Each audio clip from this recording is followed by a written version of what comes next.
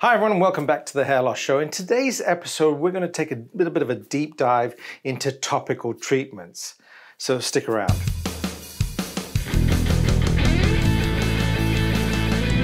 We've talked a lot about topical treatments, and we, you know, if you go through our old uh, videos, we've talked about topical things like topical minoxidil, uh, topical finasteride, and that's great. But I just wanted to probably take a, a step back and sort of have a chat about the mechanics of it, not just looking at the the treatment itself, but why uh, it works, what it's trying to do, and what it's trying to achieve, and the mechanics of getting that molecule through the skin. All right, so we know that the skin acts as a barrier. It does that very well. It keeps the outside out and keeps the inside in, and that's what we want it to do. But there are certain times that we want to basically get something, in this case a medication, and we want to, and we can use the skin as a transporting mechanism. And so uh, that's what we're trying to do. If you've got the skin, you want to be able for a molecule to be able to pass through that. Now, the skin is not a pure flat surface that is impermeable. It actually has tiny little microchannels in it.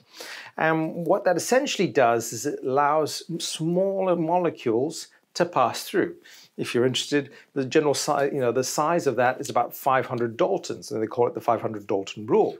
And so we use that commonly. Things like uh, local anesthetics can be applied topically, and that's why it numbs the area. We know that nicotine, hence the nicotine patches, can be applied, and it's they are smaller than the, that 500 Dalton rule.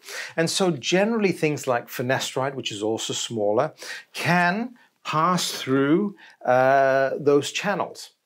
There are certain ways to try and improve that as well, not just making sure that the size uh, is the issue. You can, uh, there's something about being lipophilic as well, and that's just basically means that it likes uh, being in a, in a particular format. And if you've got a formulation that is, for example, is lipophilic, then uh, that will pass through the skin a lot more effectively. So it's not just can we make a, get a drug and it will optim, optimally pass through the, the skin, it's the formulation that's also important. So where that's made, what it's um, combined with uh, will help uh, determine how effectively it passes through. Because if most of it's sitting on the surface, it doesn't matter how much you put, it's not going to give you the outcome that you want. So the preparation is, is important. There's also another aspect of things of what are the additives that they use within that, uh, within that formulation. A common one is caffeine. Caffeine also helps open those channels uh, as well.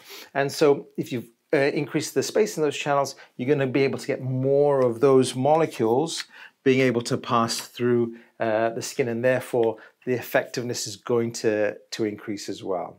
And so that's there, and that's why sort of things like minoxidil works really well, finasteride works really well.